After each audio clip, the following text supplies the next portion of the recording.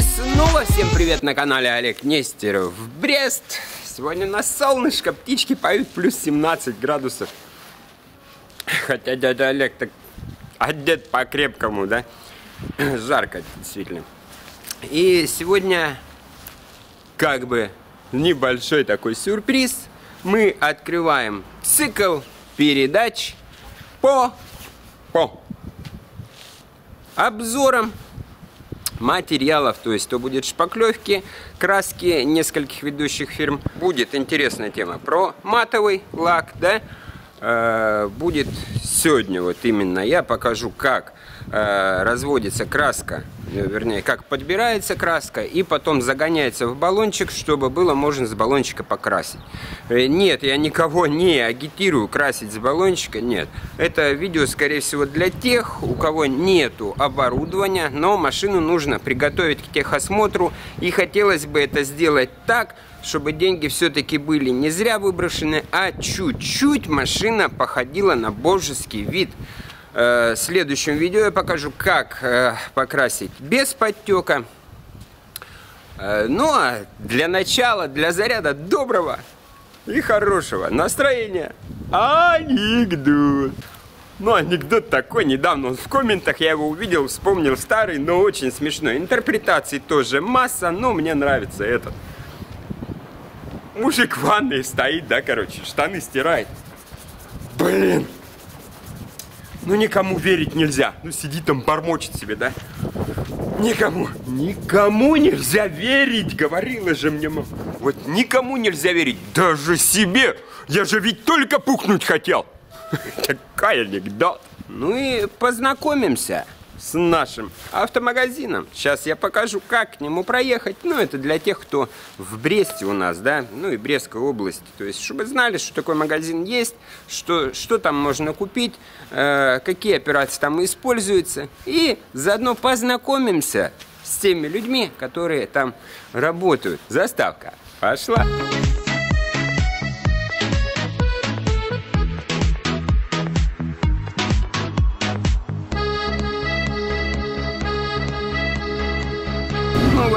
для тех, кто находится в городе Брест или там Жабинка, там при, прилежащие районы к Бресту и часто появляются в Брестах, в Бресте, да?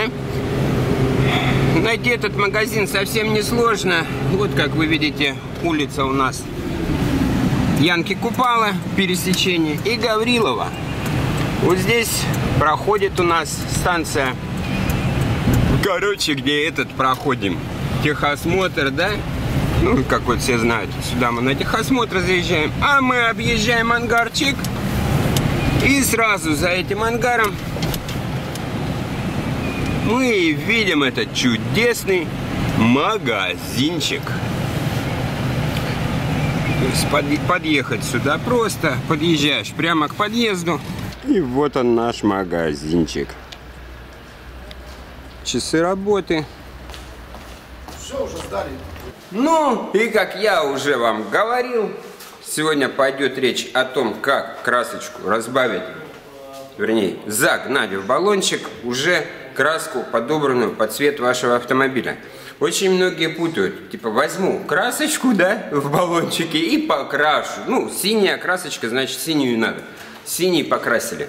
Не всегда в баллончике цвет подходит именно к вашему автомобилю. То есть именно у колориста у человека, который занимается, это мы еще с ними поговорим будет в отдельном обзоре, который занимается, это целый технологический процесс. То есть э, колор краски подбирается путем нескольких э, элементов красок, то есть нескольких ее компонентов. Это может быть как и 4 там в простейшей краске, так и до 9 компонентов. Сколько вот у вас больше встречалось всего компонентов? Ну, в районе 15-20, может быть, тоже. 15-20 компонентов. Вот и представьте, насколько у вас может не подойти краска, если вы зальете просто цвет. Ну, синий-синий, да, зеленый-зеленый. Но в каждой цвете, в каждом цвете имеется очень много оттенков. Э, Ну вот для наглядности как бы я один взял, да? э, тест. Вот посмотрите, вроде бы э, серо-голубой металлик, да? Посмотрите, сколько оттенков. То есть нереально готовую краску взять в баллончике. Нужно ее подбирать. Не хочу я никого подвигать на то, чтобы красили баллончиками. Да, красить все равно нужно из пистолета, то есть пульверизатора. Но бывают такие моменты, когда вам нужно пройти техосмотр, нужно покрасить быстренько, да, там где-то коснули. Но у вас нету ни пистолета, у вас нету ни компрессора. Тут и выручает, конечно, баллончик. То есть баллончик заправили и баллончиком э, покрасили. Но чтобы это сделать качественно, и хотя бы на троечку, чтобы машина у вас не выделялся этот элемент, он не был облупленный, не был с потеками. Здесь уже нужна своя технология покраски. То есть об этом мы поговорим на следующем уроке, как бы приедем в наш гараж, дядя Олежа пожертвует дяде Васина новое крыло и покрасит его, да? Ну и посмотрим вообще процесс этой технологии, как что это делается. В принципе, вот так вот незатейливо и выглядит аппарат для загона краски в баллончик. Да, это как бы самый простой аппарат. Вот это у нас баллончик идет. В баллончике уже есть все необходимые компоненты, кроме самого цвета, то есть кроме самой краски. Баллончик на 400 грамм, то есть там уже есть растворитель, да, остается загнать сюда краску. Краски сюда загоняются от 100 до 150 густой краски.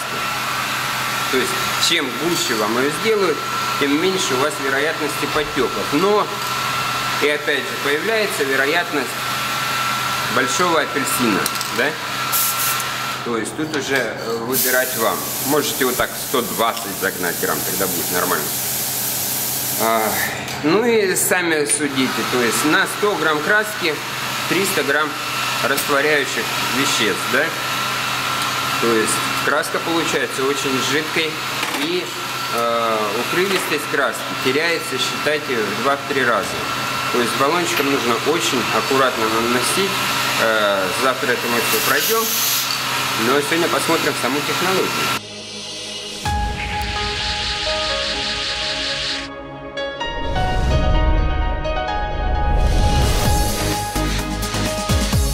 Ну, цвет мы выберем произвольно, чтобы меньше компонентов было. Какой, Ну, допустим? ориентировочный вот, Ну, давай, ориентировочно вот этот цвет. 430 432. вариант. И возьмем просто темный. Да. Сделаем, да?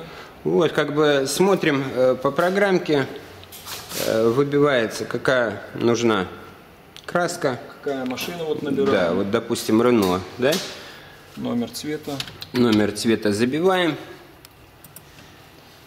И нам выдает всю таблицу, все оттенки, которые могут быть. Мы возьмем просто, допустим, темный. Темный, да. Ну, так как мы Да, не да, подбираем да. на какую-то машину, мы, ну, возьмем, допустим, давай вот эту, да. Возьмем с темным оттенком. Так, вот выбилась рецептура у нас. Вот это все. Что нам нужно? Ну, это, Нам я так нужно- понял, на литр, да? Да. Нам нужно 100 грамм. Нам нужно 100 грамм. Давай 120, 100 наверное, чтобы милли- она чуть погуще была. э, густой. Выставляем на весах. Какой объем? Или давай, Обычно давай 100. загоняется в баллоны 100, 100 густой краски. Хорошо, давай вот так и посмотрим, потому что обычно везде 100 делают, это как бы мы можем Это обычно да. это везде делают. Да, вот, и посмотрим, как она будет красить. Вот, выставляем на не на граммы, а на миллилитры, то есть на литры. Потому что плотность краски может быть разная. Можем и на килограммы поставить, тогда будет Ну, То даже есть вес, вес и объем, короче, разняться. разница есть. Ага. Разняться, да. Поэтому Понятно. в основном всегда литраж. Так, вот мы забили, и у нас вышла формула, какого цвета, какого компонента, сколько нам нужно налить. Опять же, высокоточные часы, весы. Весы. Да, это вы у Алексея Лосея видели, он тоже как бы показывал. Но мы покажем другой немножко процесс. Ну, выбираем компоненты. Вот нам дали компонент, 501 компонент. Смотрим, сколько этого компонента нам нужно. 32,1 грамма. И наливаем по весам Вот как видно, 22,7. Это у нас 401 компонент. В принципе-то не будем мешать, как бы остальные компоненты также добавляются. То есть краска доводится до своего нужного колора. Ну, то есть, вот это вот то же самое, допустим, чтобы если бы вы подъехали на подбор и приобрели себе там какое-то количество краски для э, покраса э, именно пульверизатором с компрессора, да? То есть краска та же самая, тот же самый у вас цвет, это именно ваш цвет, который вам подобрали. Но так получилось, что пульверизатора у вас нету, да? И для этого загоняем красочку в баллончик. Происходит выкраска.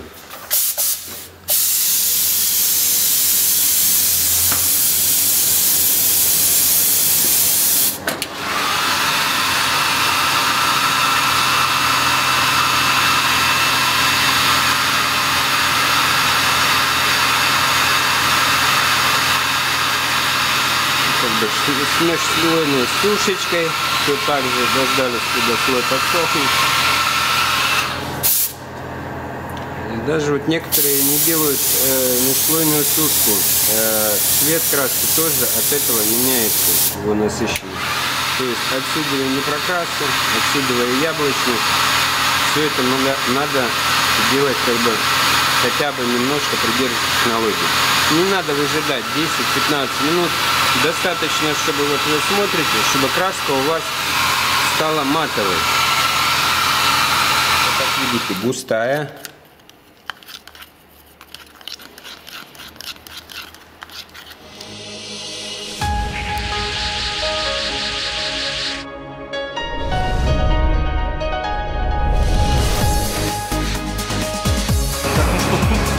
находится рецепт э, того Рено, что мы наливали с теплым оттенком. Да?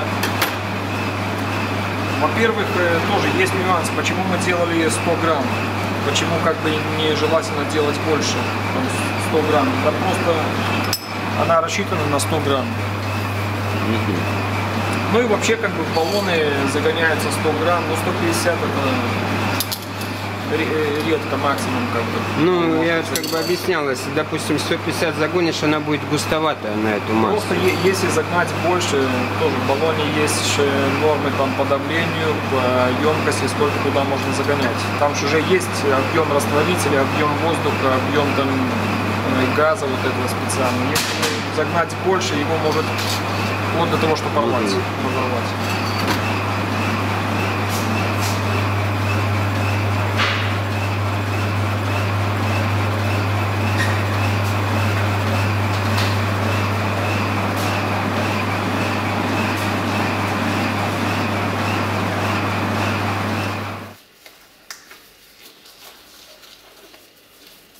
Делаем пимпку. Она нам не надо. Вставляем вместо нее с усилием. Нажимаем. Оп. Все. И вставляем станок. Подгоняем по высоте, чтобы был упор.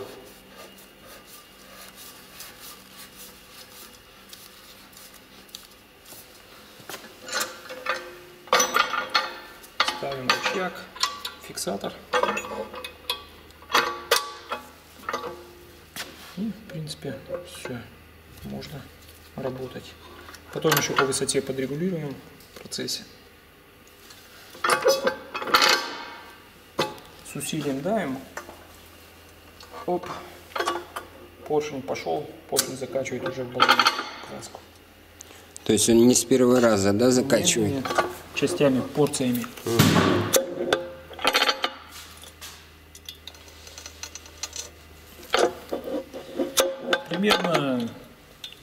13 таких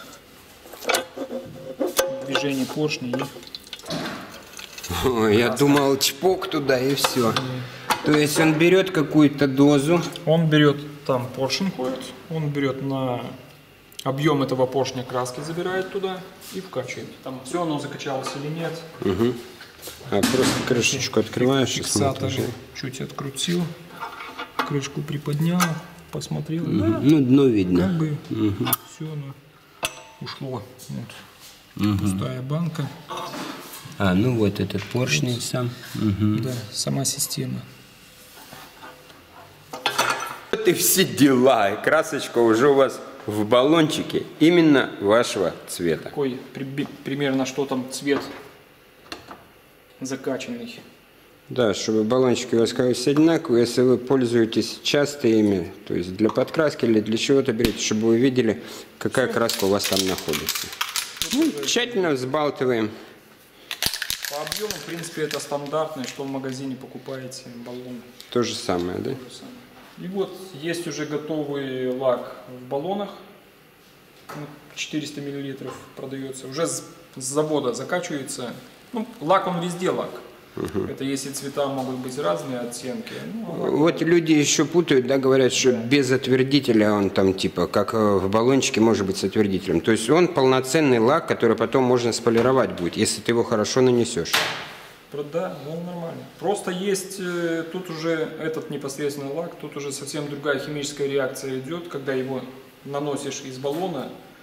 Он просто затвердевает, кристаллизуется за счет того, что Попадает идет на воздух. с воздухом, с молекулами кислорода, с молекулами воды. То есть в баллоне там закачаны вещества секретные, то есть мы об них не знаем, и вы тоже, э, которые не дают идти в реакцию вот этой вот самой реакции для кристаллизации лака. Это химия, все химия. Ну, понятненько. Ну и небольшую интригу введем.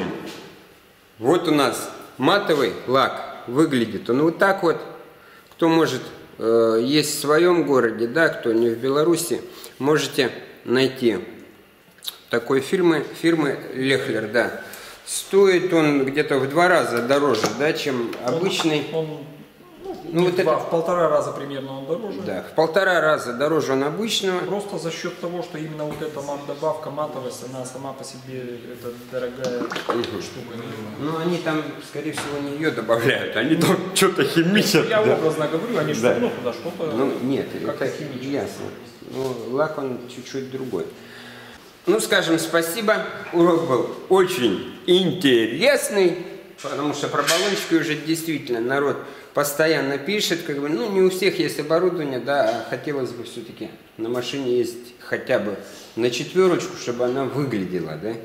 Не все, конечно, покрашивают, а завтра мы покрасим с вами из баллончика, посмотрим, что из этого выйдет как, чего нужно придерживаться, чтобы аккуратно и без потеков с глянцем покрасить баллончик. Еще есть вот такой вот лачок. То есть э, он получается, кстати, дешевле, чем брать комплект, да, э, с отвердителем. У него есть плюсы и есть э, минусы. Ну, ну, плюс, э, вот, лак однокомпонентный. То есть лак уже разведен. Ну, вот расскажите по этому лаку. Лак итальянский, однокомпонентный, то есть ни с чем он не размешивается, ни с каким, ни с отвердителем. Ну, растворитель, в принципе, это можно по желанию, но как бы не рекомендуется добавлять. Суть его в том, что он, когда наносится с пульверизатора, так же само молекулы лака соприкасаются с молекулами воды, Воздуха. которая находится в воздухе, просто ну, кислород H2O. И идет кристаллизация за счет этой химической реакции. Ну, минус в том, что если банку открыл, минус его в том, что да, если банку ты открыл, то, допустим, месяц он ну, стоять не будет. Уже тебя уже приоткрыт. Надо- завтра придете, он уже застыл, да? Нет, завтра он еще будет нормальный. Просто надо его в течение скорого времени расходовать. Использовать. Не то, что там 3 часа, 5 часов. Ну, Ну, в принципе, кто вот боится развести, да, я думаю, лучше взять, если ты знаешь, что тебе 800 грамм надо где-то, взял банку, ну пусть 200 эти останутся, но ты уже точно его попал, э, развел как да. надо. Но плюс, Для новичков. плюс э, в том, что он, в принципе, предназначен для быстрых ремонтов в гараже. Потому что его нанес, он высох, и буквально через 3 часа ты можешь его полировать. А, Вот, кстати, вот-вот, про быстро сохнущий и спрашивали. То есть э, сохнет он буквально через 3 часа можешь Сох- полировать. Сохнет быстро. Почему? Потому что для него, в принципе, температура не важна. там, плюс 10 или плюс 30 градусов. Опять же, это минус подтеки, правильно? Минус подтек. Быстро сохнет, Подтеков подтеков нет. практически не бывает. Так что вот, новички, смотрите, есть вот такой вот. И, Ищите допустим, себя. для, для наших гаражников, у которых, э, ну, которые красят, допустим, зимой, а температуру в гараже поддерживать ну, практически нереально, всегда прохладно там. Это вот самый оптимальный вариант. Кстати, вот это вот очень-очень такая Потому что не насущная. надо температуры. него. Не надо температуры, сохнет быстро. Но он не керамический идет, да? Он по твердости какой вот если вот ХС, по, ВХС? по твердости ХС. да. ХС, да? Ну вообще отлично. Так что есть такой лак, чтобы не сделать подтеков, ребята. Смотрим передачу, подписываемся на канал, посещаем этот чудесный магазин. Мы сюда еще не раз придем, э, поговорим и о красках, и о материалах, о шпаклевках, о плюсах, минусах, найдем, короче, тему, что вас интересует. Ну вот, в принципе, как бы сегодня я вас познакомил, да.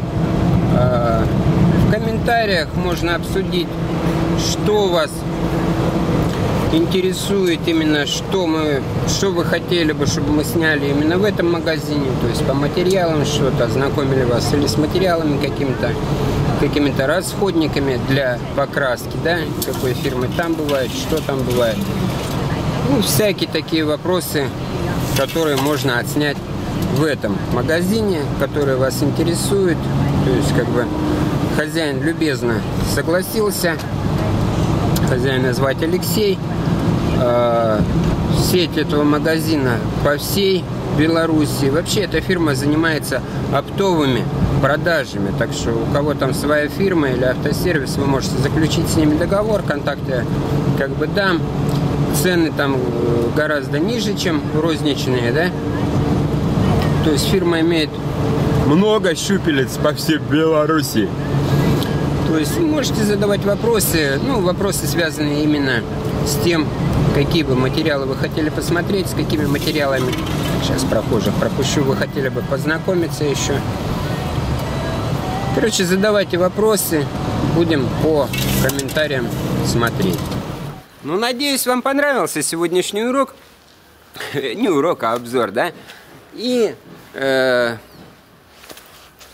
то есть следующий будет еще интереснее. На следующем э, обзоре мы, это уже будет уроком, мы покрасим этой красочкой, э, покрасим крылышко новое с Audi, да?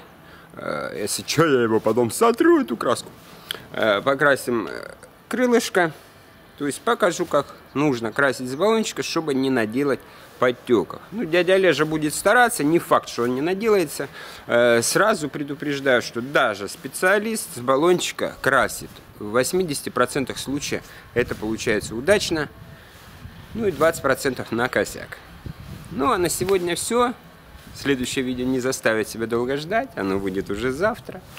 Всем здоровечка, крепкого солнышка, такого же птичек. Чтобы пели быстрее у вас, да? Чтобы морозы ушли. Ну и добра и бабла, правильно.